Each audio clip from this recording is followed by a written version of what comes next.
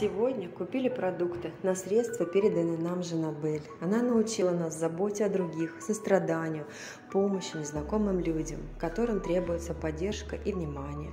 Идем в семью пенсионеров, оказавшихся в сложной ситуации. Супруг Тамары Николаевны сейчас прикован к постели после перенесенного инсульта.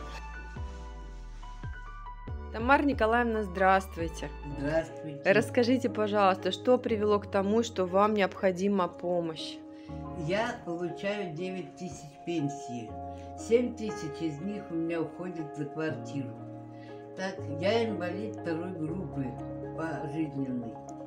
Так, и мне по факту не хватает денег на питание. Вот. Мне соседка раз рассказала, что вы приносили ваши девочки и большое вам спасибо, Жанабель. Дайте Бог вам всем здоровья, что вы нам помогаете. Большое-пребольшое. Я даже вот слово могу покланяться в ноги. Да, мы вам сегодня как раз принесли продуктовый набор, вот, чтобы вам хватило на хотя бы месяц, полмесяца. Он тяжелючий, поэтому если что, да, я вам так поставлю его, хорошо? Пользуйтесь с удовольствием, кушайте на здоровье. Будьте здоровы.